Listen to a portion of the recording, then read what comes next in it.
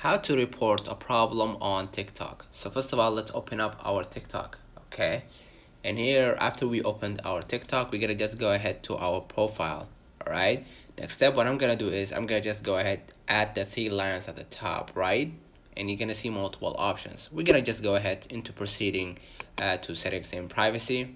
And here, after we click settings and privacy, we're gonna just scroll a little bit down until we find the support and about section. So i'm gonna just go ahead into report a problem right here. Okay.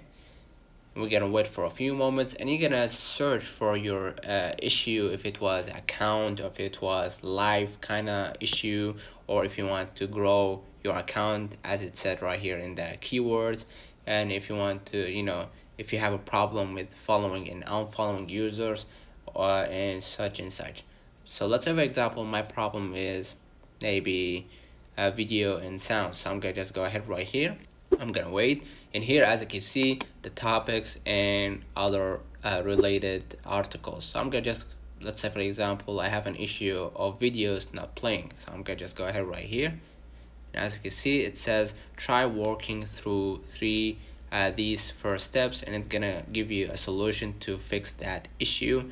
If it still didn't work out you're gonna just hit no all right and if you want to to report or actual submit a problem to the tiktok team and support so i'm gonna just go ahead and click need more help okay?